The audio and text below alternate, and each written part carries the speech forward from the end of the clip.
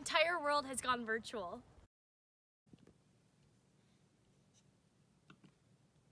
Yeah. Yes. So, team, uh, I would sort of take a cue from Organs because they're already they've already got a deck and you don't. I never try for class anymore. This is what I wear Monday through Friday. All she ever does is go on Zoom.